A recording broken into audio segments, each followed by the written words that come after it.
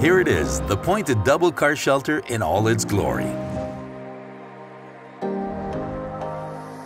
The pointed double car shelter is available in three widths, 16, 18, and 20 feet. Standard lengths come in 4-foot increments, but you can also order a custom length. This tempo is available in a variety of clearances, from 6.5 feet to 9.5 feet. It has two windows as well as two doors located at the front and back. For up for anything strength and superior rust protection, its galvanized steel posts are designed to the highest industry standards.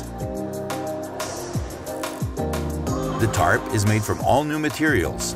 It features UV protection to withstand the winter sun year after year.